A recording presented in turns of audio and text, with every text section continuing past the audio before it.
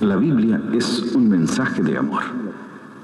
Ya en el Antiguo Testamento nos dice el libro de Isaías, capítulo 43, del 1 al 5, y ahora así te habla Yahvé, que te ha creado, que te ha formado. No temas, porque yo te he rescatado. Te he llamado por tu nombre, tú me perteneces, porque tú vales mucho a mis ojos. Yo te aprecio y te amo mucho. No temas, pues, ya que yo estoy contigo.